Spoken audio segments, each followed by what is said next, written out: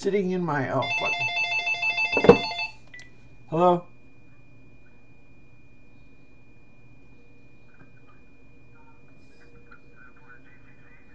What about GCC? I can't understand you. What'd you say?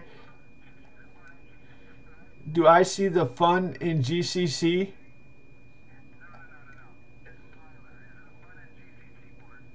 Hell no, I, am a, I'm a white man. I wrote my own fucking compiler. I'm not a nigger like Linus. I, am a professional. I started at Ticketmaster in 1990 and we wrote a compiler. The difference in a professional and amateur the, dim- the difference between an amateur and a professional is you write your own compiler, okay?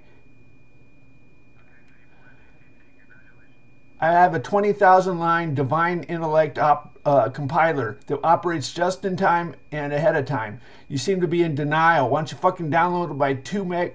You can download my 2 meg distribution that has all the source code on it and you can compile with my fucking compiler. You're a nigger. You're a fucking nigger. Fucking nigger.